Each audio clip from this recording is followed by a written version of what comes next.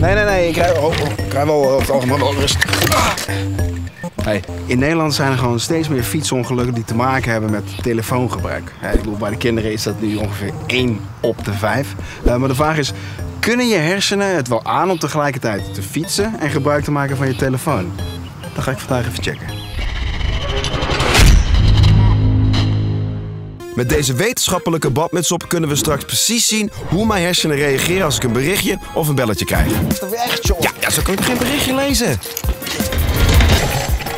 Oh, sorry. Ben je er nog? Echt, jongen. Kijk, oh, ja, ik heb gebeld. Oké. Oké. Dat, uh, dat ging niet echt soepel. Zullen we eens kijken hoe je hersenen reageren? Ja, ik ben benieuwd. Niet zo goed dus. En dit hele verhaal is eigenlijk heel simpel. Telefoongebruik en fietsen gaan gewoon niet samen. Ja, dat klinkt duidelijk, maar, maar hoe komt dat? Ja. Laten we eens wat dieper ingaan op het onderzoek. In dit lab hebben we met een groep jonge testers gekeken waarom mobiele telefoons op de fiets zo gevaarlijk zijn. Jelle, je mag. En natuurlijk ga ik ons proefkonijn Jelle telefonisch lastigvallen tijdens de test.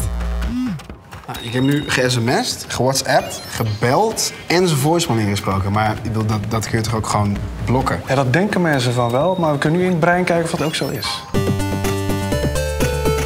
Nou, we zien dus dat niet alleen het gebruik van de telefoon gevaarlijk is op de fiets, maar zelfs als de telefoon alleen al afgaat, zie je dat kinderen enorm afgeleid zijn. Dus hun hersenen richten zich op de telefoon en niet op de omgeving. Die kinderen kunnen hier echt niets aan doen.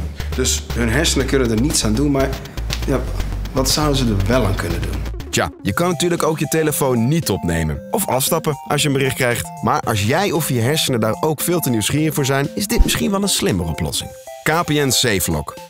Het fietslot dat je opent met je telefoon. En dat alle signalen van en naar je telefoon uitzet als je aan het fietsen bent. Wil je je telefoon weer gebruiken? Zet dan gewoon weer je fiets op slot.